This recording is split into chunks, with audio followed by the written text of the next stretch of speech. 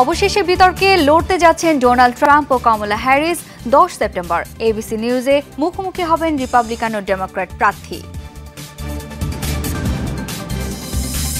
যুদ্ধবিরতি ইস্যুতে আলোচনায় বসতে সম্মত ইসরায়েল পনেরোই আগস্ট অনুষ্ঠিত হবে বৈঠক। শত্রুদের ব্যাপক হামলার শঙ্কায় রক্ত সংগ্রহ কর্মসূচি তেল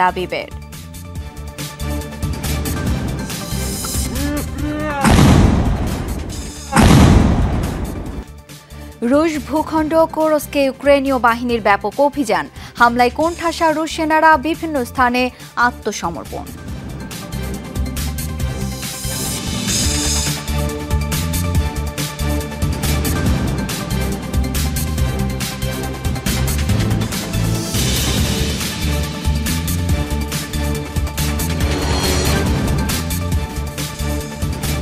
এতক্ষণ শিরোনাম দেখছিলেন। আপনাদের সাথে আছি আমি শাওন দত্ত।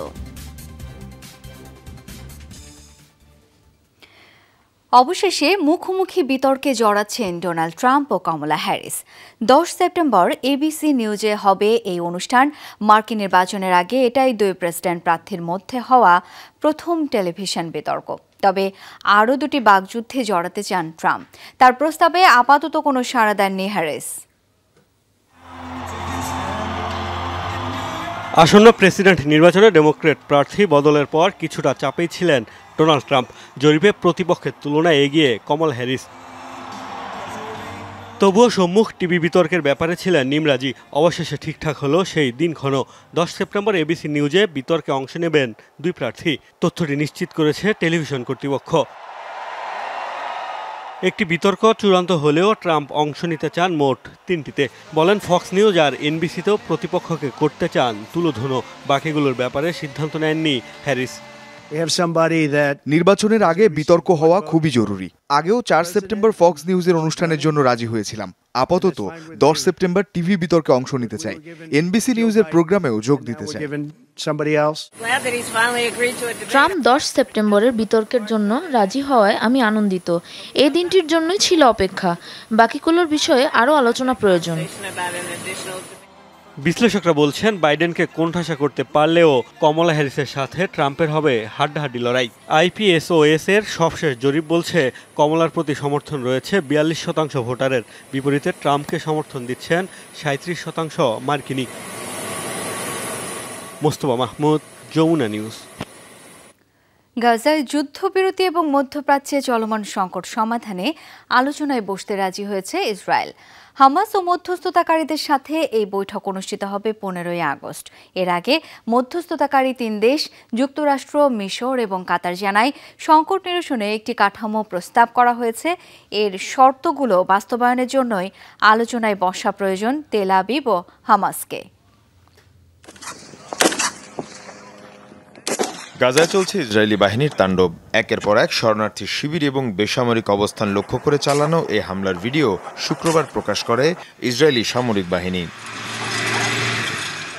একদিকে যখন চলছে তাণ্ডব, তখন আরেকদিকে এই সংঘাত বন্ধে আলোচনায় বসতে সম্মত হয়েছে তেলাবিব ইসরায়েলি প্রধানমন্ত্রী বেনিয়ামিন নেতানিহুর কার্যালয় থেকে জানানো হয় পনেরো আগস্ট হবে এই আলোচনা। এর আগে বৃহস্পতিবার ইসরায়েল ও হামাসকে জরুরি বৈঠকে বসার আহ্বান জানায় যুক্তরাষ্ট্র, মিশর এবং কাতার। বিবৃতিতে বলা হয়, যুদ্ধবিরতির চুক্তির জন্য একটি ফ্রেমওয়ার্ক গঠন করা হয়েছে। তবে এর প্রয়োজনীয় শর্তগুলো এখনও সফল হয়নি। এটি সফল করতে হলে দুপক্ষের আলোচনায় বসা প্রয়োজন। দীর্ঘমেয়াদে সংঘাত বন্ধ এবং স্থিতিশীলতা ফেরাতে যুদ্ধবিরতির কোনো বিকল্প নেই। এর ফলে একদিকে গাজায় অভিযান বন্ধ হয়ে প্রাণহানি যেমন বন্ধ হবে তেমনি ইসরায়েলি জিম্মিদেরও মুক্তি নিশ্চিত হবে। এরই মধ্যে এই সংঘাত সীমান্ত পার হয়ে লেবাননেও ছড়িয়ে পড়েছে। গেল বছরের নভেম্বরে এক সপ্তাহের জন্য যুদ্ধবিরতি কার্যকর হয় গাজায়। এরপর থেকেই দ্বিতীয় দফার যুদ্ধবিরতিতে পৌঁছানোর লক্ষ্যে সর্বাত্মক চেষ্টা চালিয়ে আসছে যুক্তরাষ্ট্র, কাতার এবং মিশর। Mir Mushfika Hasan Jamuna news.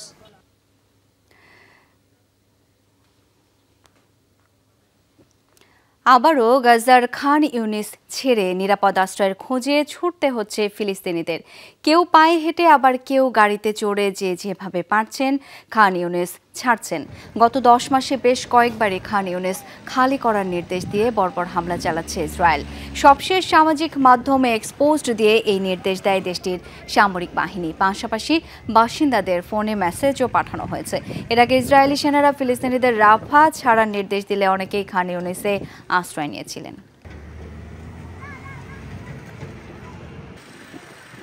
The coordination of humanitarian affairs Israeli বাহিনীর নির্দেশনার পর বাস্তুচ্যুতরা গাজার আরও পশ্চিমে আলমাওয়াসির দিকে ছুটছেন। নির্দেশটি খান ইউনিস ও দেইর আল বালার আশ্রিতদের প্রভাবিত করছে। এলাকাগুলোতে সাড়ে পনেরো হাজারেরও বেশি ফিলিস্তিনি বাস করছিলেন বলে জানতে পেরেছি।